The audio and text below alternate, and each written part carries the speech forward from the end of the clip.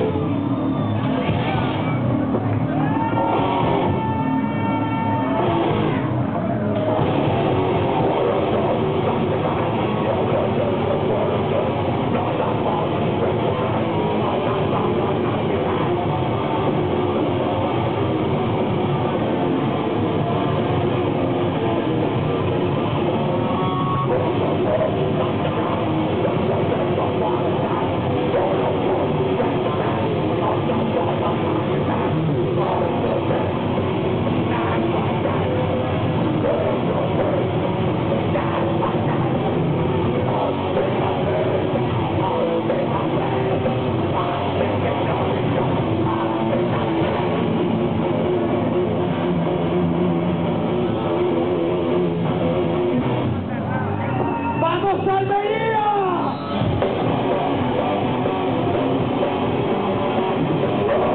Gracias.